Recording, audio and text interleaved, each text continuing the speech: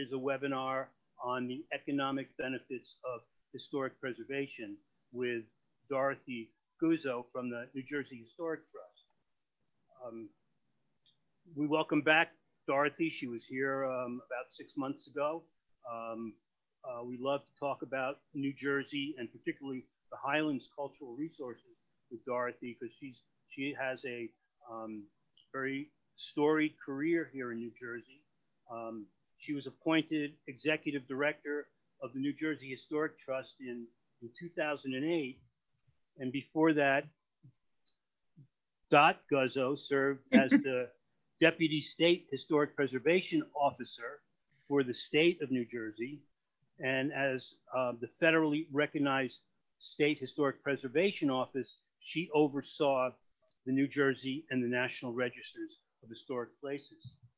Prior to her appointment um, to SHPO in 1985, uh, Dot was employed by the same department as the grants and the project manager, overseeing the restoration and development of state-owned historic sites. Um, Ms. Guzzo or Dot has more than 21 years of government experience in historic resource stewardship. Um, Dot previously served as uh, on the not-for-profit board of directors for the Crossroads of the American Revolution Association. She was also ex officio of the New Jersey Historical Commission, um, New Jersey Historic Trust, and Main Street, New Jersey. And she was the past chair of the Alice Paul Institute. She has held elected office, served on her municipal planning board and local historic preservation commission. Dot is currently serving on the New Jersey Historic Tourism Task Force, and she is charged with creating heritage tourism master plan for the state of New Jersey. And Dot, I hope I'm uh, reading a current um, um, bio. We welcome you back. Glad to have you here and um, hello. Thank you, Elliot. I hate introductions because I hope you didn't set everyone's expectations up too high. Um, it is a Tuesday night after all, but tonight I'm going to focus on the benefits of historic preservation, but primarily why preservation is good for the economy. Um, as you mentioned, the Historic Trust is the primary funder of historic preservation in the state. We award grants to nonprofit organizations and governmental entities um, to preserve historic sites that are most often visited by the public. And we also fund public buildings that are used by everyone, like a courthouse or municipal building or a train station. Um, if you were to poll people, uh, they would probably say that the primary benefit to preservation is that we're preserving history, an intangible attribute. And we do it because it's the right thing to do, and we're Americans, and it's a way to connect us with our history um, and with the past. And all of that is true, of course, but there's also a very real benefit um, to the economy that I want to share with you. Here's why we preserve. Typically, I would have civic pride to be number one on the list, but for tonight, I dropped it to number two. Historic sites, historic districts, local landmarks are all connections with the, and the connections with the environment all make your community a desirable place to live. Your history and how that history is reflected in the built environment uh, contributes to your individual identity and your civic identity and the pride that you have for your town. Preserving your sense of place is the continuity and tangible link between the past and the future. In preservation terms, historic sites are unique. No two are exactly alike. So when a special place is lost to demolition and worse, if it's by neglect, it kind of hurts a bit. So if you've ever mobilized to try and prevent a demolition or to try to promote a preservation, uh, promote preservation aside from it being too late. One of the primary obstacles often is it costs too much. Um, it costs too much to save. It's too much to preserve, too much to maintain. So I'm going to try and deconstruct some of that. When talking economic benefits, there are project specific uh, details that redevelopers, for example, use to determine whether a project is a go or no go. Typically, private developers are in the business to make money, and there's a bottom line. So, does the project make economic sense. Um, how is economics measured? just so you don't think I'm all that smart, there's one person in our field who pioneered the messaging about economics of preservation way back in the 80s, and he's been authoring the various studies around the country. And we typically use his studies papers and the books he's published um, to be our economics Bible. So I'm quoting from Donovan Rypkema, and he says that economics is measured in three ways jobs created, increase in household income, and demand created in other industries. And good news, preservation hits all three of these. In brief, heritage tourists spend more, more per day, stay longer, and visit more places than tourists in general. There's a crisis in affordable housing in New Jersey and throughout the country, and that crisis will not be solved in the foreseeable future without saving and reinvesting in our older and historic homes at a level far greater than is taking place today. Virtually every example of sustained success in downtown revitalization, regardless of the size of the city, has included historic preservation as a key component of the strategy. There is no form of economic development of any kind, anywhere, on any level that is more cost effective and that is better able to leverage scarce public resources than the preservation-based commercial revitalization approach known as Main Street. This is a picture of Bernardsville because they are our latest Main Street town. They've just been added to Main Street. We're pretty excited about this. This is the first announcements of new Main Street towns in probably a decade. So it's very exciting. Um, and to go on to quote from Donovan, there is no credible evidence whatsoever that local historic districts reduce property values. In the vast majority of cases, properties subject to the protections of local historic districts experience rates of property appreciation greater than the rest of the local market and greater than similar undesignated neighborhoods. Generally, worst case is that values of properties within a local historic district move in tandem with the local market as a whole. For anyone serving on a local historic preservation commission, you are performing a great service. Having an ordinance designating property that should be preserved, creating guidelines, having a process for review and approval means predictability and protection. Property values stabilize or increase if you know your investment is going to hold its value. And predictability is a key factor. Historic district designation helps to protect you from your neighbor, or sometimes it protects you from governmental action. Your neighbor's neglect or inappropriate alterations can ne negatively impact the investment you've made on your own home. So in a very real sense, while those serving on local commissions are not often thanked, and certainly anyone serving on a public board is underappreciated for the time and energy that you give, local commissions are doing a huge service to the community. So again, quoting from my personal hero in economics on the topic, I'm going to say that economics is the science that deals with the production, distribution, and consumption of wealth and with the various related problems of labor, finance, taxation. Economy is the careful management of wealth, resources, avoidance of waste by careful planning and use, thrift or thrifty use. Economize is to use or manage with thrift or prudence to avoid waste or needless expenditure to reduce expenses. And here on the right side is the definition for preservation the careful management of a community's historic resources, avoidance of wasted resources by careful planning and use, the thrifty use of those resources, to use or manage those historic resources with thrift or prudence, to avoid their waste or needless expenditure, to reduce expenses through the use of those historic resources. So moving on, the connection between historic preservation and economic benefit seems very clear to me. New Jersey was the first to conduct an actual study to determine the economic impact of historic preservation. The study was done by the Center for Urban Policy Research at Rutgers University in the late 90s. More than 20, it's probably closer to 30 states at this point, have done similar studies in their states, and they've adopted the model that Rutgers developed as part of our study. What were some of the key impacts of this study?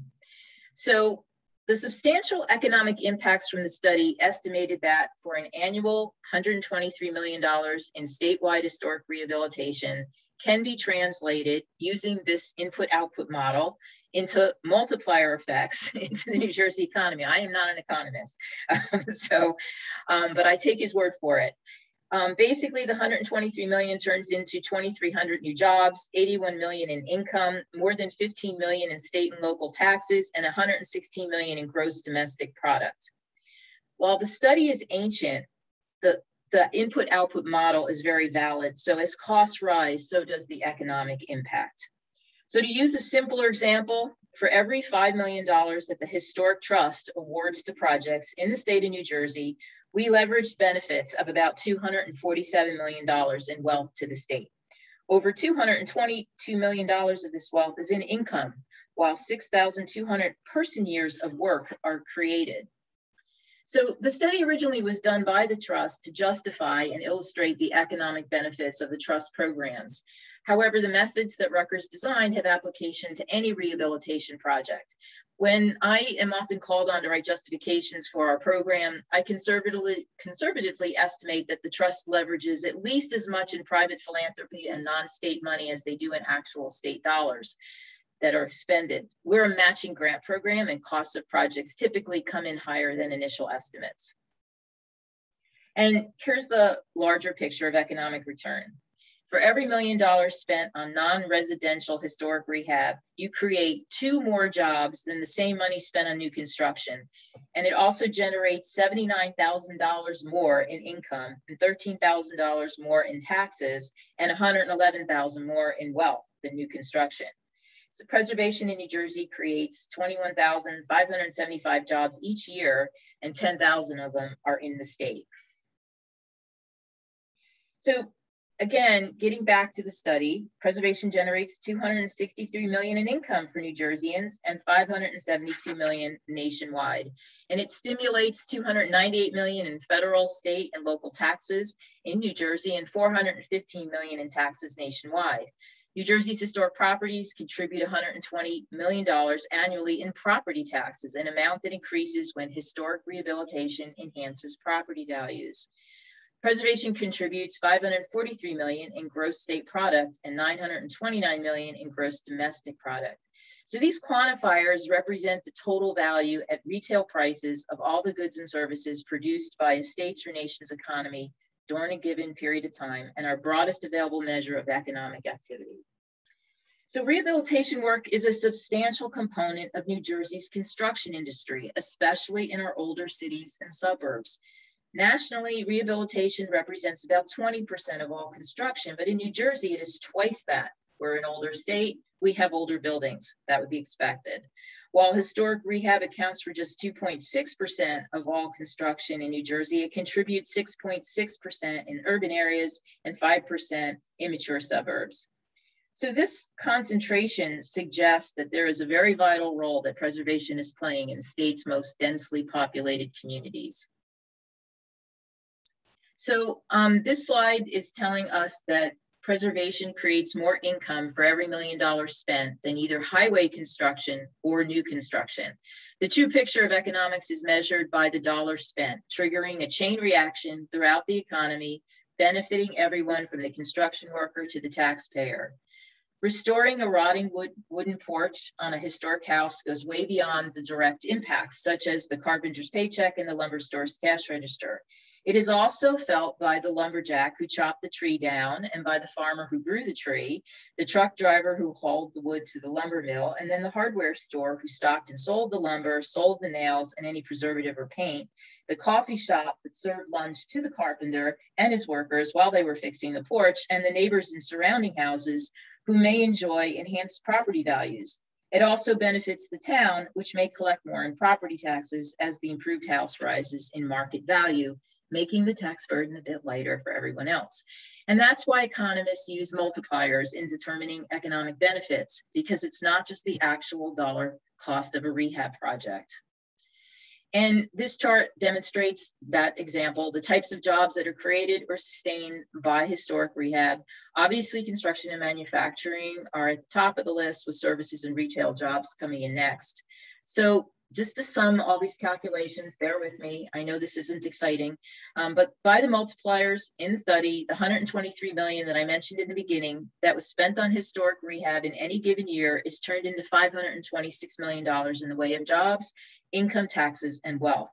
Intuitively, we know that preservation is good and makes sense. And what I've just given you is the backup justification for making the statement.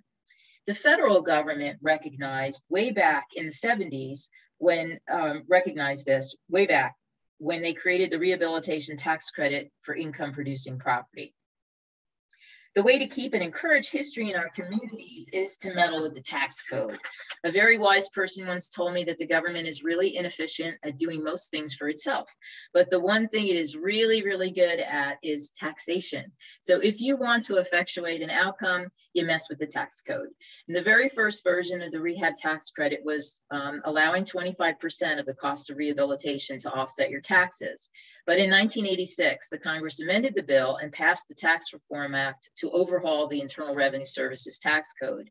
The rehab um, credit survived, but was reduced to 20%. And they also made it so that the credit was only able to offset income from active income, not passive income, except if you were in the real estate business. So while the credit is still wildly popular, much of the work was syndicated, meaning the value of the credit is now sold to developers. The federal ITC was an enormous boom for historic preservation. It increased and diversified the types of listings that we have in the National Register of Historic Places. And prior to this, industrial buildings were not often considered for listing in the register. And because the projects were being reviewed and had to meet standards, there was a resurgence in tradespeople who relearned traditional building crafts like how to test mortar, how to repoint mortar, repairing wood windows, plaster repair and restoration, stained glass restoration, and basic carpentry skills. And financially, the tax credit was the incentive that engaged the development community into reuse. When the latest reform package was passed in Congress, and I want to say this was just two, 20, uh, 2018, the tax credit again survived, but became a little less lucrative. So the credits now have to be taken over a five year period using 44% per year instead of being able to use the full 20% credit in one year. The result of the change is that the credit pricing from tax credit investors has dropped some, making the credits a bit less valuable. So as an example, if Sherwin-Williams is looking for projects to invest in to reduce their tax liability for one single year by 20%, they have to invest in five projects rather than just one. So what's up in New Jersey? Last winter, the governor signed an omnibus bill that included incentive programs and tax credits to induce economic growth and stability to our warbling economy. One of those was the rehabilitation tax credit for historic property. The rules are in development as we speak, but what we do know is that it will be administered by the Economic Development Authority in cooperation with the State Historic Preservation Office. The sites um, to use the credit must be historic and listed in the New Jersey Register of Historic Places, and the projects must meet the preservation standards. It will be a competitive process, unlike the federal tax credit, um, and 50 million per year has been allocated. So if your project comes in and they've already allocated the 50 million, you would have to wait till the following year. Um, and I think the program is in place for five years at that level. And like the federal tax credit, it is for only for income producing property, not residential. The law requires that projects use prevailing wage, which was of a concern, um, which is different from the federal credit. And to compensate, the credit was raised to 40%. Projects will need to show a gap in financing to be eligible for the state credit, and it can be combined with other credits like a brownfields remediation credit. And presumably it can also be combined with federal credit once everybody figures out how this is going to work. EDA has now hired staff and the regulations are being worked on. And last I heard, um, the version should be available near the end of this year. Uh, it hasn't been used yet, but think of how that's going to change those statistics that I gave. Um, probably a good time to update that study is after a couple of years of having a state tax credit. Um, we've now joined the ranks of about 38 states who have state tax credits, um, hopefully to mirror the federal credit, including Maryland, Pennsylvania, and New York. And that's good because if you were a developer specialized in historic rehabilitation, you were not coming to New Jersey for your project. So we were actually losing out by not having this. Passage of the state credit was the missing piece of the preservation toolkit in New Jersey. We had a fairly strong enabling legislation and regulatory power. We have local preservation commissions enabled through our municipal land use law. We have funding from the historic trust, but the tax credit now allows us to be competitive in the redevelopment market. Another way to measure economic impact is through tourism. Tourism is the um, third largest revenue generator in New Jersey. It's possibly the fourth, depending on how you count government. And it's hard to think about New Jersey as a tourism mecca, but the Jersey Shore is definitely a mecca for tourism. But that's not all we have besides the beach. Since the Historic Trust predominantly finances restoration for sites that are visited by tourists, we commissioned a study to look at the economic impact of heritage tourism in New Jersey. The results came out just as the recession was hitting, so it wasn't publicized very much, but the, um, the results were pretty amazing. Um, first, I just want to start with what is heritage tourism. It's traveling to experience the places and activities that authentically represent the stories and people of the past. And it includes historic, cultural, and natural resources. Um, that's a definition that the National Trust for Historic Preservation developed. And typically we talk about a tourist as someone who travels more than 50 miles for a tourism experience. It, heritage tourism differs from regular tourism in that it is generally authentic and educational, and it can also be fun. We found that 8% of all tourism revenue can be attributed to heritage tourism. That means without even trying and no central marketing, our historic sites are positive revenue generators. If you only remember one thing that I said this evening, remember that 8% of all revenue generated by tourism can be attributed to our wonderful, colorful, and diverse collection of historic sites. As part of the state's Heritage Tourism Master Plan, we surveyed our historic sites to see if they were visitor ready. And we used three basic criteria for visitor ready. Are you open regular hours? Are you actively promoted as an attraction? And do you fit into one of the 16s that we identified in the Heritage Tourism Master Plan? What we found wasn't all that surprising. Um, out of the 1,800 sites in district survey, just 18% met some or most of the criteria. 5% met most of the criteria, but the most important thing was most sites aren't open on Sundays which is when people want to visit. And that's just not good if you want to market your history to people that are coming 50 miles away. Um, a national study that was done by Mandala Associates took a look at the type of visitors who considered themselves and self-identified as the cultural heritage traveler. The study found that the cultural heritage traveler travels more frequently, prefers travel to be educational, spends more on activities, will travel farther to get the experiences that they seek, and most importantly to New Jersey and to the Highlands, is they are likely to combine activities like visiting historic sites with cultural activities and recreation. Now, 71% of the US population travels for leisure. And out of that, 70%, 76% of the leisure travelers participate in cultural and heritage activities. Again, as I said, they spend more for trip than non-heritage travelers. They contribute $171 billion to the US economy. Um, we have to keep in mind that these statistics, of course, are all pre-pandemic. With many places closed in the past year, we know there will be a marked decline in heritage tourism revenue. I searched but couldn't find any new real data on this to report, but I expect that some will come out soon. And I think there's hesitancy because we're still reporting high numbers of hospitalizations, which impacts enthusiasm for tourism. Also, um, many docents and the volunteers at our sites are older and the first population to have felt the impacts of COVID. So the concern is real and sites have had to deal with getting safety precautions in place to provide a safe visit for both the visitors, the staff, and the volunteers. Um, it is has been interesting uh, to see the pivots that these sites have made, how much went virtual in just a short amount of time. And I understand that some sites will continue with virtual programming even after they're up and running again because they were able to draw new audiences. They were able to reach longer distances. Sites also um, came up with many creative ways to continue their mission, like holding outdoor concerts, for example.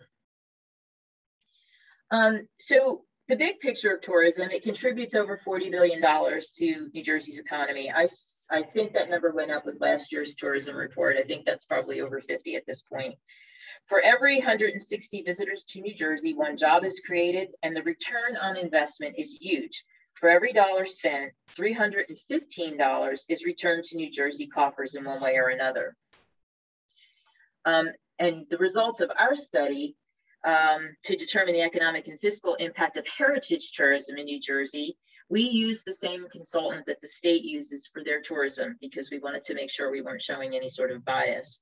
Um, they found 11 million visits uh, to historic sites. Uh, we can account for $2.8 billion in visitor spending. Heritage tourism supports 38,000 jobs and $715 million is returned through federal, state, and local taxes. And most importantly, 8% of the state's total tourism revenue can be attributed to heritage tourists. So in addition to measuring visitation at specific sites, the study calculated visitation to historic places like Lambertville or Stockton or Cape May or Ocean Grove, places that people visit because of its ambiance and because they like to shop and because they're combining it with recreation. And of course, they enjoy history. Direct visitor spending came to 134.5 million through admissions, food and beverages, and in other purchases that are made.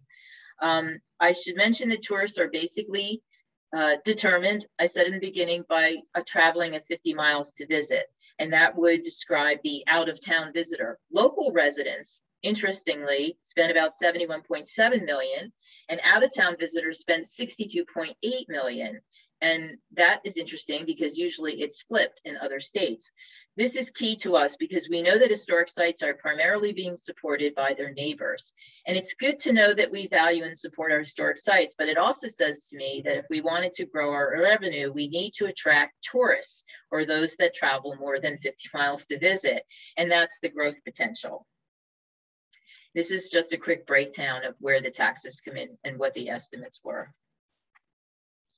So one of the recommendations that came out of the Heritage Tourism Master Plan is um, trying to um, to optimize and trying to create a place where you can learn about the things to do in New Jersey. So we created Journey Through Jersey um, as a website to showcase the ama amazing historic sites that we have. Ultimately, our goal is to be the go-to site for visiting sites in New Jersey. And in order to come up on the site or be posted, we're using the visitor ready criteria. Are you open regularly? Do you actively market and promote your site? Do you fit into one of the six themes for interpretation? Um, there is an ability to search on the site by geographic area, but it's not solely categorized by the Highlands region. Um, we know we have some checking now to do post-pandemic um, as the hours for many sites got reduced or were changed. Um, so we know we have to go through the sites and do another survey of some of that, um, which is just unavoidable. Um, just, just as part of my commercial, we are the one source you can come to for heritage tourists tourism funding. Um, we offer very small grants to foster tourism, $5,000 non-matching, and that comes out of our license plate uh, uh, grant pot. We also offer $50,000 planning grants for various heritage tourism activities. Our key phrase in this is linkage. We encourage attractions to work together to create interesting destinations and experiences. Typically, when cultural heritage travelers travel, they do a number of things. They usually don't come just for one site. They're usually coming or staying overnight and they're looking for a collection of things to do. Even if it's shopping or even if it's you know a historic hotel or bed and breakfast or something they're usually coming for um, an experience not just a visit. Um, as um, I was saying a little bit earlier, we uh, surveyed some sites and well, surveyed sites and found out that one of the things they would really like to have help with is, is creating that visitor readiness. So in our construction pot, we will also fund um, amenities like bathrooms or parking lots or trails and bus turnarounds, things that make it easier for people to come and visit. Um, through feedback, we've come to realize that uh, restoring the site preserving the authenticity is now just one aspect to encouraging visitors to come. They also want gift shops, cafes, and they want to combine other activities um, as part of their travel. Uh, the Division of Travel and Tourism also offers grants to destination marketing organizations. Those are usually on a regional basis, primarily for marketing, um, typically regional marketing or industry type marketing. Um, as an example, Visit South Jersey actively markets many wineries in South Jersey along with promoting their historic uh, sites to visit. A municipality or county can apply for these grants as well as any nonprofit organization. Um, and you can be a history organization or a tourism organization to take advantage of these, these pots of money. Um, I mentioned those $5,000 uh, fostering heritage tourism. That's all coming out of the Discover New Jersey History License Plate Fund. Um, wearing the Discover New Jersey History license plate is also a good commercial on your car to advertise your support for the cause. Um, I would be remiss if I didn't advertise our plate. All the money goes directly back into grants, and so it's kind of a, a small pot, but it does help people get get started for certain projects. If you're interested in any more of the details of any of those boring statistics I gave, our um, economic and fiscal impacts of heritage tourism is posted on our website and you can read the full report there. I'm also happy to report that we are about to engage the consultants again to take a look at the um, um, what heritage tourism has done in the last decade so we can measure whether we've uh, had any success or not. So we're about to go forward with that. I hope the results will be out in spring before the um, tourism season starts. I am going to end at this point and invite Elliot back um, so that we can um, have a conversation. Great. Dorothy, you, you, Dot, you get an A for featuring sites in the Highlands um, in, in, in, your talk. I recognize the, um, the current headquarters of the Lake Hopatcong Foundation, which is the former landing train mm-hmm. station. Um, I saw the Boonton Diner on Main Street here in Boonton. Mm-hmm. Um, the Bernardsville Episcopal Church, where our executive director, Julia Summers, is a warden. And um, so the Ford Faesch House in Rockaway. And I believe that was the um, Greenwood Lake Airport with, with the um, planes. So thank you for featuring the Highlands in that. You know, the case really can easily be made for the economics of, of heritage tourism.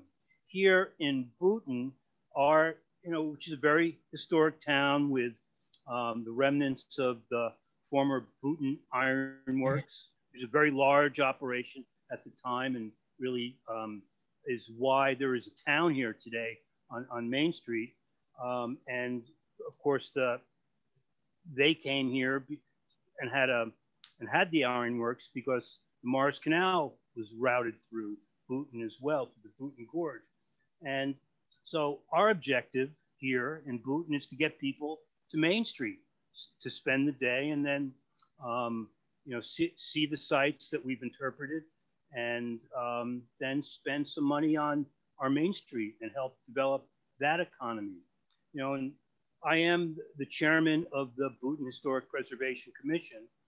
We're one of the few in Morris County that actually has enabling ordinances where um, even signage or more importantly, facade changes in our Main Street Historic District has to be re reviewed and uh, approved by us uh, because as you know, private property isn't necessarily protected through being listed on the state or national registers of historic places. It takes a municipality to actually adopt enabling ordinances. And what I found that has made historic um, preservation and interpretation such a attractive um, project for people in Boonton is, is the sense of place and the sense of pride it brings, which doesn't necessarily have an economic value, but it really touches people in, in very important ways. And it's, it's a sense of pride about where they live or, or, or where they work. And there's great opportunity there. Um, but I think what people are afraid of is the regulations that they have to come under, which restricts their opportunities to develop. And, you know, that, that scares a lot of people off. But we've only have had success stories. And, and, and I'll give you a quick example. Um, we have a, a, um, a burlesque theater, um, the mm-hmm. Opera House, which actually inside still has a proscenium, proscenium stage and, you know, Burns and Allen performed there. And the owners of that came to us with a plan to uh, re renovate the facade. And they brought a really nice looking, very, very um, handsome looking design, but it wasn't historic. And we had to deny them. And, you know, I just saw that, you know, this is probably going to lead to litigation. Not going to be a, a good scene. but they agreed to work with us. And they ended up, we ended up with a plan that was historically accurate according to what this, what we knew this building looked like. Um, it wasn't the exact materials, but it was materials that did accurately reflect what was once there. And it, it ended up, they say, the owners, with a better design, a design that, that, they much prefer than their original one, and they save money. And here we have an accurately restored um, uh, opera house in the center of our town. And what a great success story.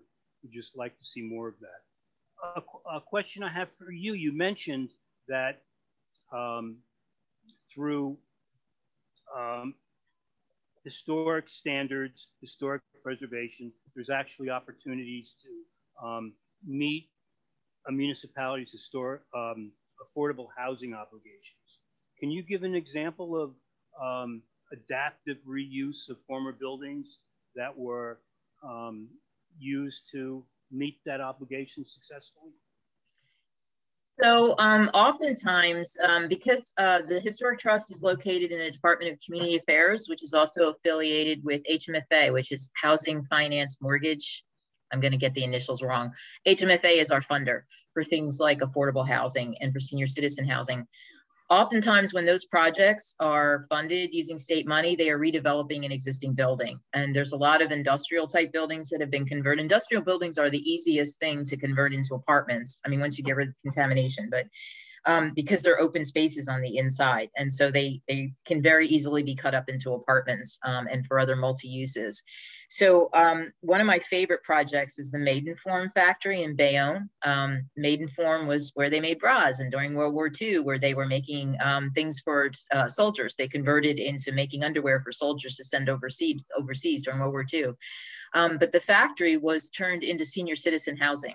So it continues to be a site that's associated with women's history because there were two wonderful women who are associated with the uh, Maidenform company. That's another lecture. But anyway, but the building itself now houses a brand a brand new use. And I do think that if you go there, you can you would know that. I think they have some sort of marking on there as a site that's associated with women's history. So um, industrial buildings are always good for doing that. There's another project that I love, um, and it's way out of the Highlands area, but it's down in Salem where there were a, an entire drug infested, dilapidated small houses, very old, a whole neighborhood of this. And a developer came in and through a series of um, some of it the city owned um, either through eminent domain or tax foreclosures um, and some of it so they turned this area over to the developer and when he developed these houses they did all kinds of things like they kept all the exteriors intact but they actually were able to fur out walls and added insulation so that these houses were not going to be a drain on anybody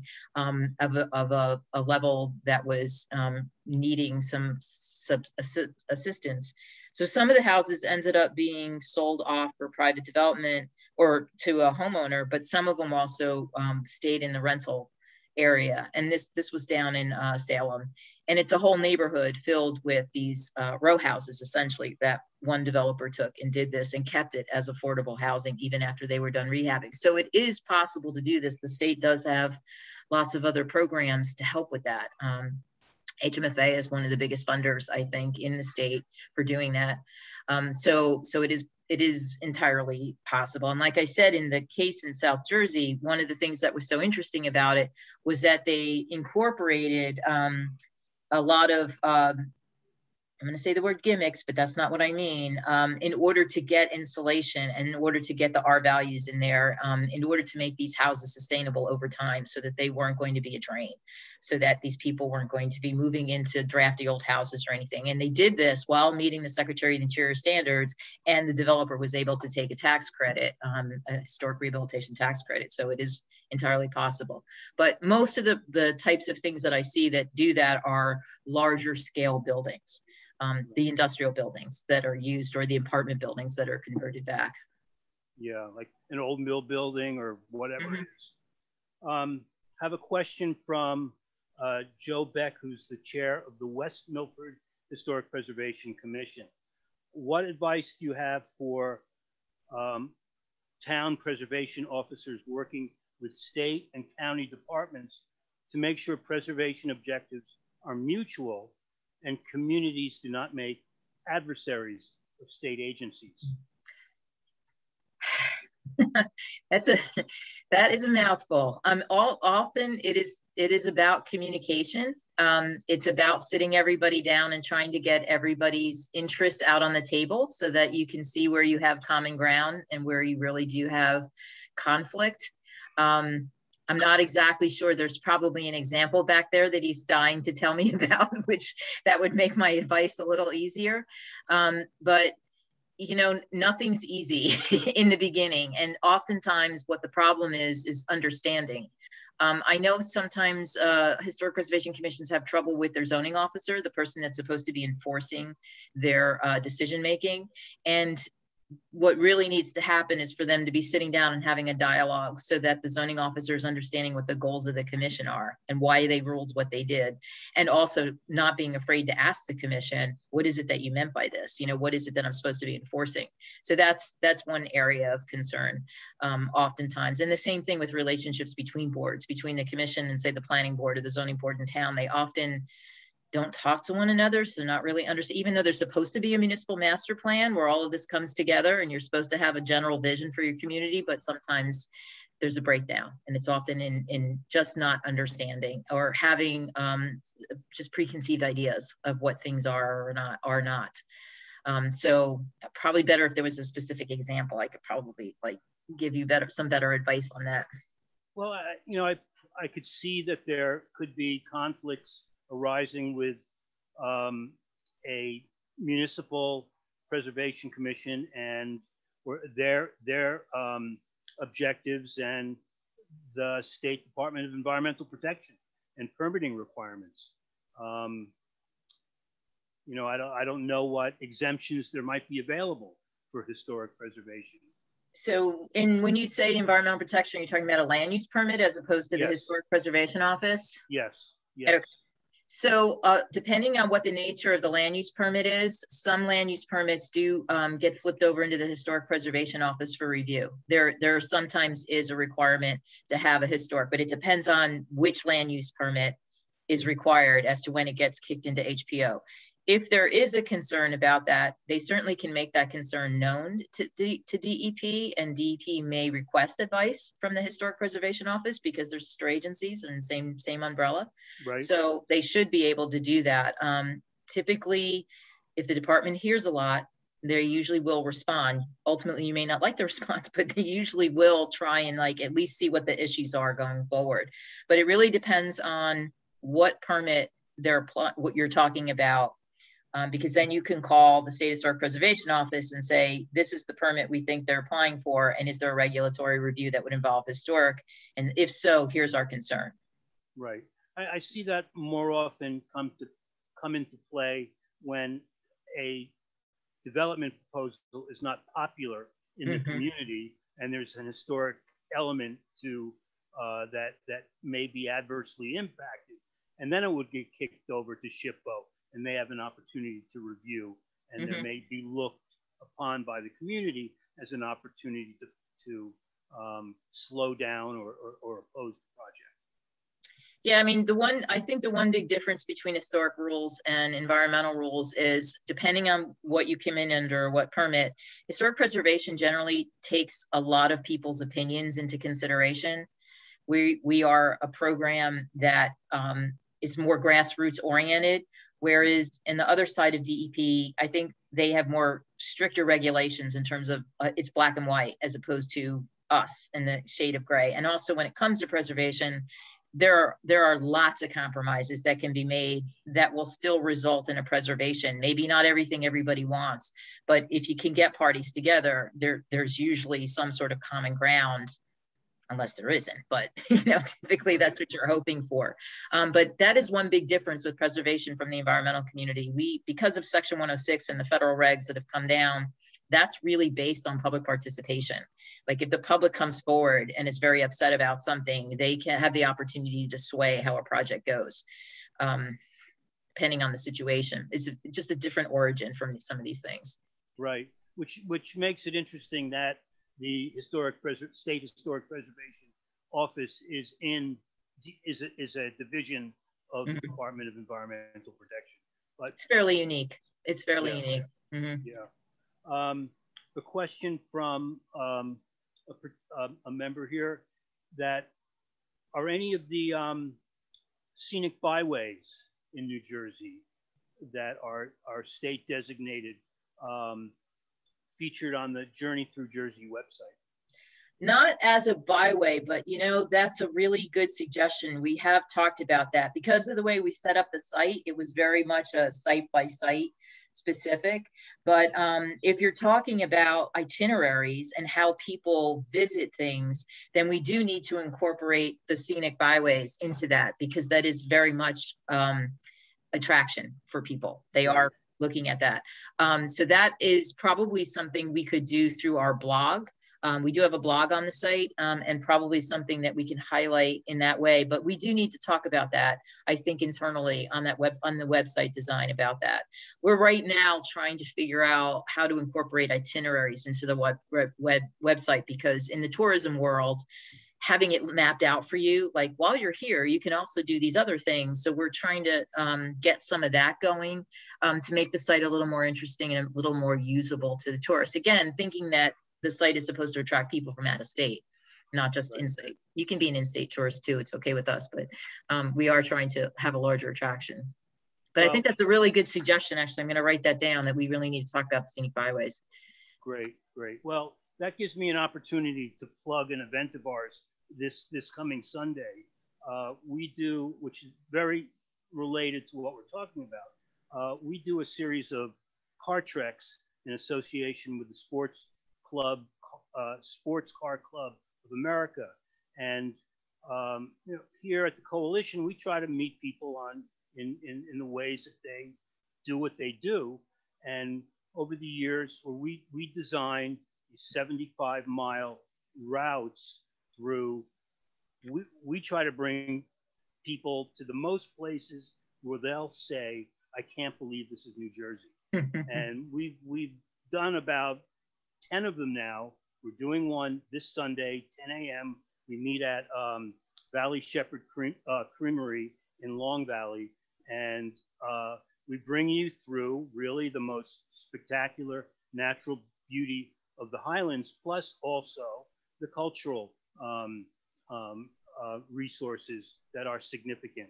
And um, anyone's interested, go to our Facebook page. I think Zach is putting a, a, link to it in our chat right now if they want to find out more information.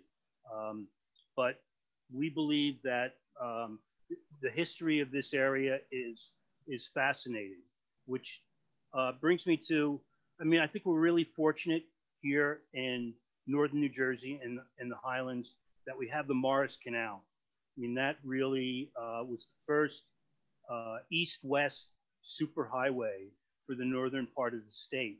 And um, at the time, uh, uh, uh what was at one time a very vibrant um, iron industry was, was almost died because um, they were all fueled by charcoal. And by the mid, mid 19th century, there was barely a tree left. And the Morris Canal was, uh, was able to uh, allow us to leverage coal from uh, eastern Pennsylvania and revitalize the industry and it really established the growth patterns of most of uh, northern New Jersey. And even though that only lasted about 50 years, uh, it was supplanted by the railroads. Uh, today, there is a very active um, effort for a Morris Canal Greenway, which is a recreation and, and heritage trail uh, connecting um, the Delaware River at Phillipsburg with the Hudson River at uh, Jersey City across New Jersey. And there's great connections, thematic connections between all these towns that are part of the Greenway um, and connects us with our history and, and through recreation and we're really fortunate that we have this. And it's become a driver for a lot of um, local um, preservation efforts mm-hmm. and interpretation efforts.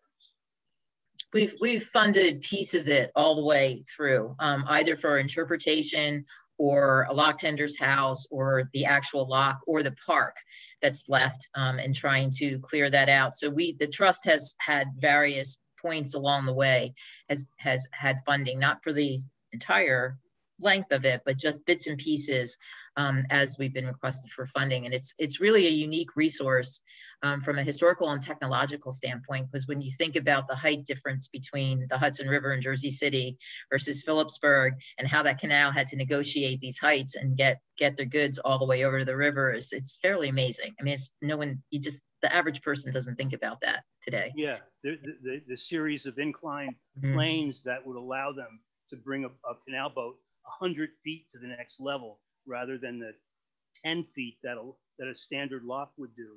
And that these were developed with you know the tools that they had and hand shuffles uh, when this was built in the early part of the 19th century. It really is an incredible story that we were able to build this thing and it, and it, and it, and successfully operated for as, as long as it did. Yeah, it's a pretty amazing resource. Yeah. So another question, um, what opportunities remain uh, for you to work with church properties? Mm. Um, since we had that uh, not too long ago decision uh, where so many beloved historic properties need restoration are in New Jersey. So many of these churches are, are here. So it's a sore subject. We still haven't gotten over it, quite frankly. Um, we have had some conversations that maybe there was an opportunity to develop a separate funding source, if not from the Historic Trust, but maybe a, like a third party, similar to how Sacred Places um, has some funding for churches. So we have discussed trying to develop another pot of somehow to be able to help, but it would never be on the scale that the Historic Trust funded religious properties up till the Supreme Court decision. Um, the other thing that I just wanted to mention to everybody, you know, there's been a huge push in the National Register to um, to recognize underrepresented history, like African American history. And when you think about where a lot of the African American sites are, oftentimes it's in churches. That's where the congregations had their meetings, and often what's left of a community um, in terms of uh, recording its history. And it's the one we can't fund it. So it's like on the one hand, we're trying to recognize and preserve underrepresented histories, but a large part of that history is something the Supreme Court just told us we can't do anymore. So I find that just just that's a really big disconnect. Um, but it is what it is, and we have to abide by that. And the only thing that I see that would change that is if somebody wanted to propose amendment to the Constitution, which I don't think is going to happen anytime soon. Um, but that's where we're at. And the only thing that we have talked about internally, um, and with so much going on, it hasn't really um, come to fruition, was trying to create a separate funding stream for churches that would be administered outside a state system if there were a nonprofit to do it. Um, some sort of sacred places kind of opportunity, but you do need the initial funding uh, to be able to do that. But it's a sore point. We haven't gotten yeah. over it yet. Yeah. Um, well, that brings up another point because there are sacred Native American places throughout mm-hmm. New Jersey. Um, to what extent, in your experience, is Native American history represented in um, heritage tourism and in pres- and, and in the preservation world? It's, it, I mean, up till till fairly recently, not very much at all. Um, you know, it, it, it's what's happened now is that as people are doing um, archaeological digs, if they need to do ground disturbance at a site and they're uncovering Native American history, I think there's a, um, a lot more sensitivity towards that. I know at the Trent House, they're doing a lot of archaeology there and they have been able to they have been uncovering earlier period history and they are going to use that um, in an interpretive exhibit.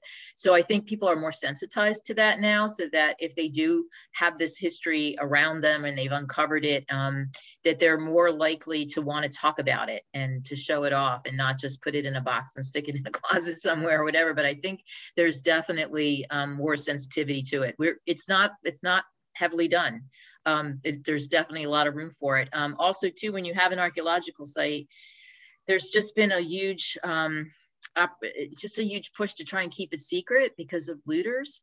And mm-hmm. so that sort of gets in the way of actually interpreting on the place of. Um, because you don't want to sometimes attract a lot of attention to a site that's far more valuable if someone digs it up, you know, because you really don't want that to happen. So that's been another obstacle, I think, to just interpreting the place native americans having traveled across new jersey but that doesn't that doesn't necessarily mean you can't be interpreting the native american history that the state has uh, it just means that maybe we don't want to put it on the place sure. that it happens sure. so. but you know it's not i think most people think that you know the history of of uh, european the conflicts between the indigenous populations here and um, the contact with uh, European settlers all happened out west. Mm-hmm. It happened here. Mm-hmm. I mean, there were the land grabs, there were the massacres and migrations, mm-hmm. and um, um, and the people that remained who are trying to get recognized for their um, uh, lineage to the, the, original people here. We see that with the um, uh, Ramapough Lenape, mm-hmm. the Munsee, Munsee speaking people. I mean, it's a very interesting, little understood history in New Jersey. I mean, there was a vibrant culture here um, that changed significantly. Um, you know, when Henry Hudson went up the Hudson for the first time and, and from first contact.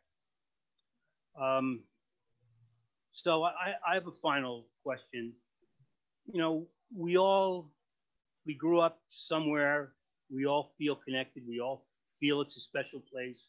We all, you know, feel that there's some history. What what what makes a place truly historical and a story worth telling that will um, compel interest from outside the the place that will bring people what's what what's what's the metric that we have something truly valuable worth showing off so uh, I don't know that it's it's a hard and fast metric. Um, I was listening to someone talk one time that, and when it came to preservation, if something, if a town is um, comfortable with their town and they like the way it looks and they like the way they move around in that town and they like the existence and and that's probably going to generate interest from the outside. So like if you think of a small any small town in New Jersey which has its own character. We have so many wonderful little towns that they each sort of have their own flavor. That we shouldn't think about, for example, building heritage tourism so much as building the quality of life. Because if you're building the quality of life within your town, then people will want to come to it. They'll find it to, to visit. It's sort of like Boonton. I mean, I remember Boonton from like 20 or 30 years ago looked dramatically different. It's so obvious um, the changes that have taken place there and that the historic preservation community is active there. We were just at Grace Lord Park for a check presentation on the little Stone Arch Bridge. So I just was just had just come through, but I, I couldn't, I didn't recognize it because I had been there for so long and my image in my head was much more of a rundown place than it is now. It just, it's amazing how much progress you've made. Um, but that to me, as I come through there, the things that you're working on and the things that you gravitate to, and the reason why you want to live in Boonton is the same reason that I want to come back and visit Boonton because I saw some interesting restaurants or I saw a, a shop. So it's kind of like the reason you're doing what you're doing locally is the reason that people probably want to come. I don't know that it's saying it's any one particular thing. It's not like having a bunch of porches in town or having stone architecture. That might be it. That might be a draw. Um, but it's really about that quality that um, and that character that's part of the part of the town's makeup and its development over time. Thank you know, I think understanding the re- how the town developed and how its values are um, embodied in the architecture is a very important thing to do. I mean, the, the Boonton Iron Works uh, brought 300 workers from England, and they, um, rather than it being the traditional company town where the company owns the property and um, leases it to the workers, they gave them a very attractive, uh, um, inexpensive rate to buy a, a, a, a, parcel and, and build a house that was affordable. And that's how the town developed. And they opened up the first free school in Morris County. Um, and it was the only free public school for 30 years. And you know that that spirit of community established the town and it's it's it's in the fabric of of of how it presents today. I think it's important to make that connection, to, to do that, to have that level of understanding of the ethos of a community. If you can find that, I think you got something to work with. Mm-hmm. I would agree with that. Well, thank you so much again for uh, um, being with us and, and imparting your experience and wisdom and uh, telling us how we can um, make our communities better places for ourselves and subsequent generations through um, heritage tourism. And um, I'm sure we'll have you again. Um, I'd like to, I, would like to remind everybody that our webinars are recorded. Um, this will be on our uh, YouTube channel in the next um, couple of days. Just go to YouTube, um, search uh, New Jersey Highlands Coalition, and um, we come to our website, find out more about us. Uh, we protect the natural and cultural resources of this incredible part of New Jersey, and um, we'd um, we'd love you to join us. So on that, thank you everybody, and um, we'll see you soon. Good night, everybody.